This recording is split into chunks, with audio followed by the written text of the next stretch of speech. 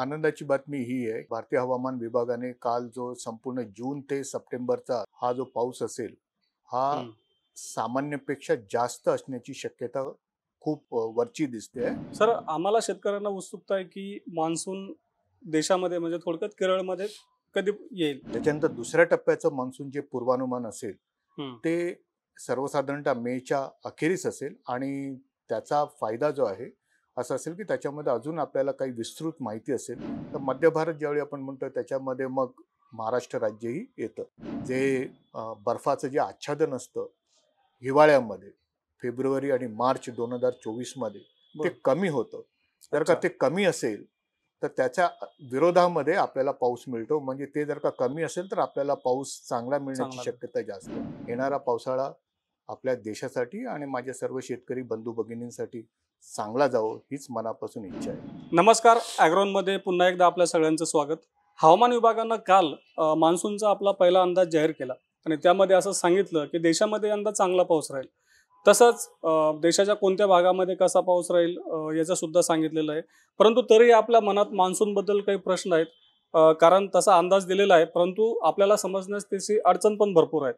तर नेमकं मान्सूनचा हा अंदाज काय आहे आणि तो आपल्याला सोप्या भाषेत कसा समजून घेता येईल हे जाणून घेण्यासाठी आज आपण पुन्हा एकदा पुणे आय एम डी येथे आलेलो आहोत आणि साहजिकच नेहमीप्रमाणे आज आपल्यासोबत आहेत पुणे आय एम डीचे प्रमुख doctor Krishnanand Hosalikar sir. Sir आपलं स्वागत आहे ॲग्रोनमध्ये नमस्कार. अ, सर कालचा हवामान विभागाचा मान्सूनचा अंदाज जर पाहिला तर पा मान्सूनचा पाऊस चांगला सांगितलेला आहे. तर हवामान विभागाच्या मान्सूनच्या अंदाजाकडे आम्ही शेतकऱ्यांनी नेमकं कसं पाहायला पाहिजे? आनंदाची बातमी ही आहे की भारतीय हवामान विभागाने काल जो संपूर्ण जून ते सप्टेंबरचा दोन हजार चोवीसचा मान्सून. चा पाऊस कसा असेल याबद्दल विधान केलं आणि त्याच्यामध्ये हवामान विभागाने असं म्हटलं आहे की संपूर्ण देशामध्ये हा जो पाऊस असेल हा. सामान्यपेक्षा जास्त असण्याची शक्यता खूप वरची दिसते आहे आणि एकंदरच त्याचं वितरणही संपूर्ण देशामध्ये समाधानकारक असण्याची शक्यता खूप जास्त आहे.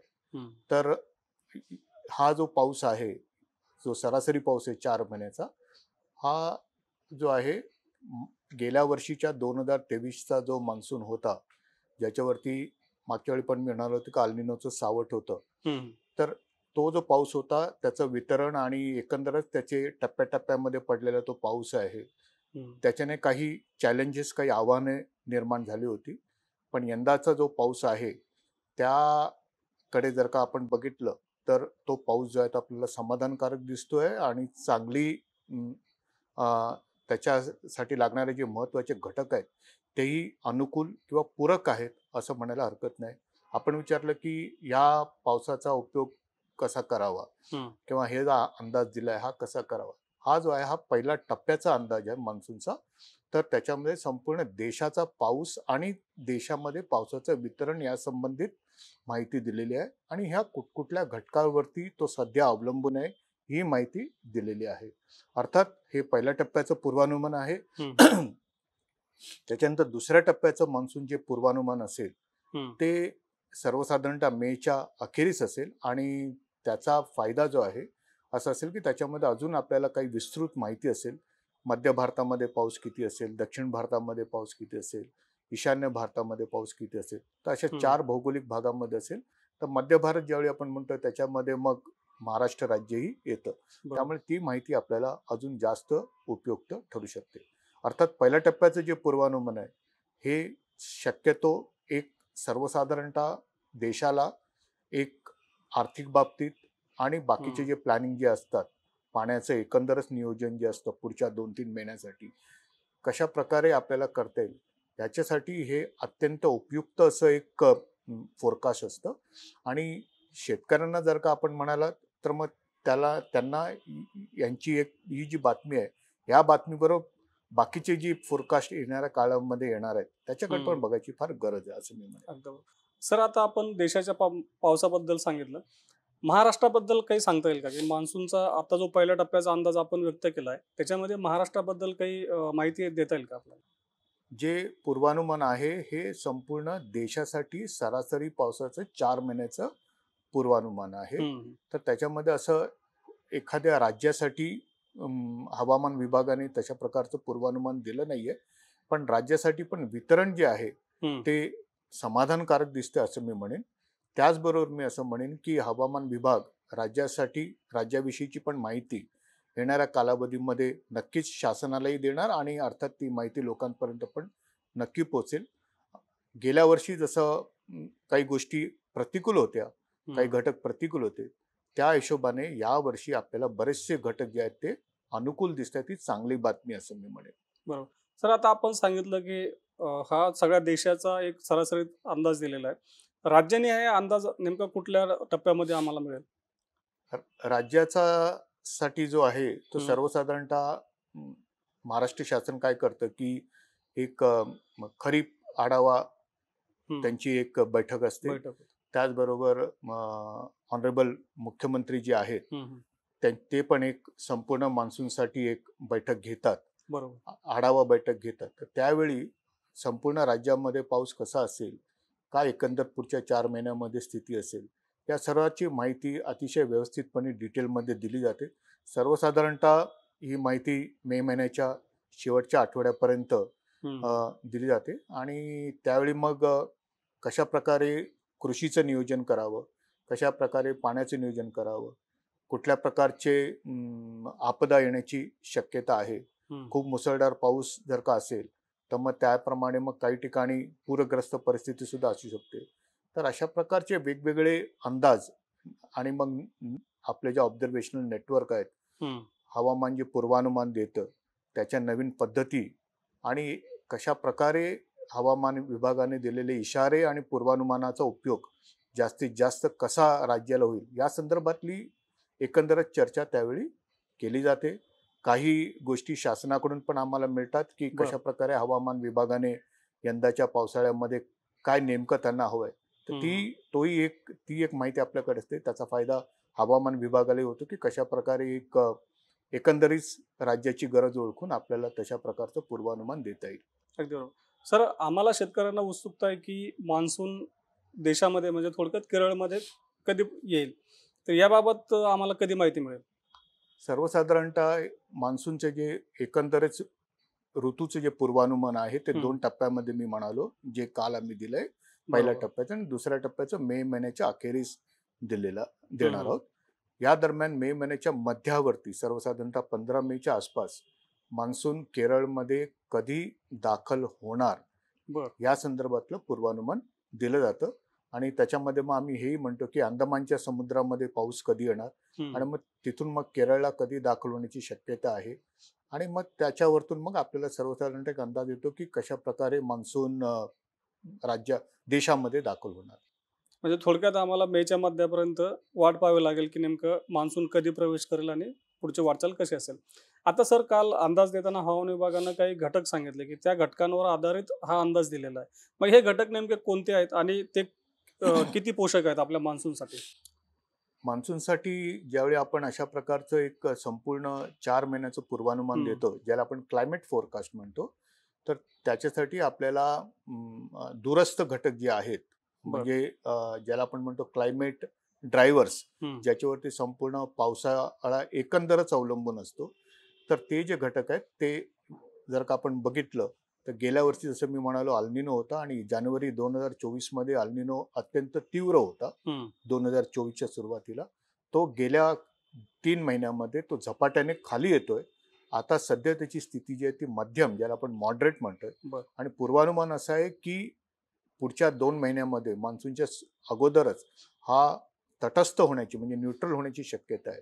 अल्निनो जो आहे तो आपल्यासाठी प्रतिकूल आहे म्हणजे. मान्सूनसाठी मान्सूनवरती त्याचा निगेटिव्ह प्रभाव होण्याची शक्यता खूप जास्त असते. तर तो तटस्थ होतो ही चांगली गोष्ट आहे. दुसरी गोष्ट ही आहे की इंडियन ओशन डायपोल जो हिंद महासागरामध्ये दक्षिणेला भारताच्या तिथे तयार होतो तो जर का पॉझिटिव्ह असेल तर त्याचा फायदा मान्सूनला होतो. आणि तशा प्रकारचं पूर्वानुमान असं आहे की तो मान्सूनच्या काळामध्ये तो पॉझिटिव्ह म्हणजे घन होण्याची शक्यता जास्त आहे. तिसरा घटक असा आहे की लानिना म्हणजे. जो अल्निनोच्या विरुद्ध आहे लानिना.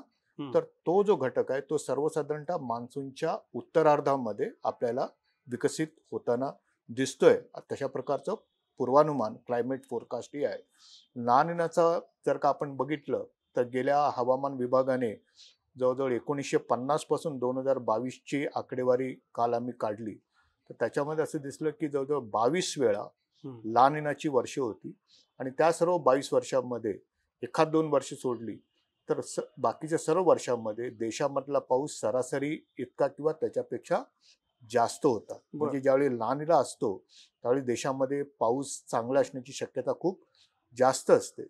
आणि त्याचबरोबर मग अजून काही घटक आहेत जसं उत्तर गोलार्धामध्ये. जे बर्फाचं जे आच्छादन असतं हिवाळ्यामध्ये फेब्रुवारी आणि मार्च दोन हजार चोवीसमध्ये ते. कमी होतं जर का. ते कमी असेल तर त्याच्या विरोधामध्ये आपल्याला पाऊस मिळतो म्हणजे ते जर का कमी असेल तर आपल्याला पाऊस चांगला मिळण्याची. शक्यता जास्त आहे तर असे काही घटक आहेत पण त्याचबरोबर मी इथे आपल्या सर्वांना सांगू इच्छितो की हे खूप मोठे घटक आहेत आणि हे क्लायमेट आहेत पण. अर्थात त्याचा क्लायमेटचे ड्रायव्हर्स आहेत असं मी म्हणेन पण मान्सून जो आहे ही एक एक मोठी सिस्टम आहे त्यामुळे तो प्रत्येक राज्यात प्रत्येक जिल्ह्यात कसा पडेल. किती पडेल हे तिकडच्या भौगोलिक परिस्थितीवरती लोकल स्थानिक परिस्थितीवरती पण बऱ्याचदा अवलंबून असतं. अर्थात त्याचं पूर्वानुमान जे आहे भारतीय हवामान विभाग आपल्या रोजच्या जी आपली ऑपरेटिंग सिस्टम आहे म्हणजे पुढच्या पाच दिवसात का होणार पुढच्या एक महिन्यात का होणार पुढच्या आठवड्यात का होणार तर अशा प्रकारचे ते इशारे आणि ती माहिती वारंवार सर्वांकडे पोहोचवणार. आता सर शेतकऱ्यांना उत्सुकता मान्सूनच्या बाबतीत होतीच. आता आपण अंदाज पण दिला. आपण पण सांगितलं की यंदा पाऊस चांगला असणार आहे.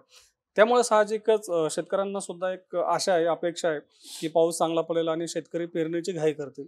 तर आपण हा पहिल्या टप्प्याचा अंदाज आहे. तर आपण शेतकऱ्यांना काय आवाहन कराल की नेमकं शेतकऱ्यांनी या अंदाजाकडे कसं पाहायला पाहिजे आणि आपलं नियोजन कसं करायला पाहिजे? शेतकऱ्यांनी या जो अंदाज दिलेला हा संपूर्ण देशासाठी आहे. हा राज्यासाठी नाही नसून जिल्ह्यासाठी तर नाहीच नाही असं मी म्हणेन. शेतकऱ्यांना काय गरज असते मी सांगतो शेतकऱ्यांना असते की ते ज्या जिल्ह्यामध्ये राहतात. त्या जिल्ह्याचं किंवा त्या तालुक्याचं किंवा त्या ब्लॉकचं त्यांना पूर्वानुमान हवं असतं. त्यामुळे काल दिलेलं पूर्वानुमानाचा तसा त्यांना काही फायदा नाहीये पण. एक गोष्ट नक्कीच आहे की येणारा पावसाळा राज्यासाठी एक चांगला असेल ही एक चांगली बातमी असते त्यामुळे त्यांना एक त्यांच्या नियोजनासाठी एक. मानसिक बळ आणि. एक एक प्रकारची ऊर्जा जी आहे त्यांना मिळते आणि एकंदरच गेल्या वर्षीचा पावसाळा बघितल्यावर त्यांना असं नक्कीच एक त्यांच्या मनामध्ये उभारी असेल की यंदाचा पावसाळा हवामान विभागाने चांगला आहे म्हटलंय तर त्याप्रमाणे मग ते शेतीच्या नियोजनाची कामाची जी एक आराखडे आहेत त्यांचे स्वतःचे. ते त्यांना करायला सुरुवात करायला हरकत नाहीये आणि तशा प्रकारे त्यांनी त्या ह्या कालच्या पूर्वानुमानाची पूर्वानुमानाचा उपयोग करावा. आणि मी जसं म्हणालो की दुसऱ्या टप्प्याचं पूर्वानुमान अतिशय महत्त्वाचं असेल त्याच्यामध्ये अजून माहिती असेल. आणि मग दर आठवड्याला रोज आपण जे पूर्वानुमान देतो कृषी विभागाकडून किंवा हवामान विभागाकडून त्याचा फायदा शेतकरी मला असं वाटतं की आता खूप सुज्ञ आणि सज्ञान झालेले आहेत. त्यामुळे नक्कीच त्याचा ते फायदा घेतील असं मी मला वाटतं. अगदी बरोबर. आता सरांनी आपल्याला एक अत्यंत महत्वाची गोष्ट सांगितली ती म्हणजे हा जो अंदाज आहे ते एकूणच देशाच्या पावसाचं एक ढोबळ मनाने असं आपण म्हणू शकतो की आपल्याला पाऊस कसा राहू शकतो आणि तो चांगला राहील हे आपल्या आपल्यासाठी महत्वाचं आहे. परंतु आपल्या पेरणीचं नियोजन करण्यासाठी आपल्याला मे महिन्याचा जो काही अंदाज येईल हवामान विभागाचा तो खूप महत्त्वाचा असेल. अ, आता सरांनी आपल्याला खूप सोप्या भाषेमध्ये जो काही अंदाज हवामान विभागानं काल दिला तो समजावून सांगितला. मला तर वाटतं की या उपर आपल्या मनामध्ये काही शंका नसतीलच. आणि आपण अशा अपेक्षा व्यक्त करू की जसा मान्सूनचा अंदाज किंवा मान्सूनच्या आगमनाचा अंदाज हवामान विभाग देईल तेव्हाही सर असंच आपल्यासोबत येऊन आपल्याला अगदी सोप्या भाषेत आपल्याला समजेल अशा भाषेमध्ये सगळं वातावरण किंवा अंदाज समजून सांगतील अशा अपेक्षा व्यक्त करूयात. आणि धन्यवाद सर आपण आम्हाला वेळ दिला आणि सगळ्या आमच्या प्रश्नांची उत्तर अगदी सोप्या भाषेत सांगितले त्याबद्दल. यंदाचा पावसाळा हवामान विभागाने जसं म्हटलंय की चांगला असण्याची आणि सरासरीपेक्षा जास्त असण्याची शक्यता खूप चांगली आहे. आणि त्यामुळे हवामान विभागाला पण एक प्रकारचा मनामध्ये एक आनंद आहे. आणि आपला देश जो आहे तो कृषीप्रधान देश आहे. आणि आपली देशाची जी शेती व्यवस्था आहे ती बऱ्याच अर्थी पावसावरती अवलंबून आहे. तर त्यामुळे एकंदरच पावसाळा चांगला दिसतोय ही एक आनंदाची बातमी आहे. शेतकऱ्यांनी आणि बाकीचे जे आपले सगळे पॉलिसी मेकर्स आहेत आणि जे डिसिजन मेकर्स आहेत उपभोक्ता आहेत त्यांनी सर्वांनी हवामान विभागाने दिलेल्या इशाऱ्यांकडे पूर्वानुमानाकडेच पाहण्याची गरज आहे. जर का अजून कुठल्या दुसऱ्या ठिकाणाहून जर का त्यांना संभ्रमित करणारी माहिती मिळा मिळत असेल तर त्याने हवामान विभागाशी परत एकदा संपर्क साधावा की असं काही आमच्या कानावर येत आहे तर. नेमकी काय माहिती आहे ती सांगावी. तर हवामान विभाग नक्कीच त्यांच्या मनातल्या शंकाचं निरसन करेल. येणारा पावसाळा आपल्या देशासाठी आणि माझ्या सर्व शेतकरी बंधू भगिनींसाठी चांगला जावो हीच मनापासून इच्छा आहे. धन्यवाद. धन्यवाद.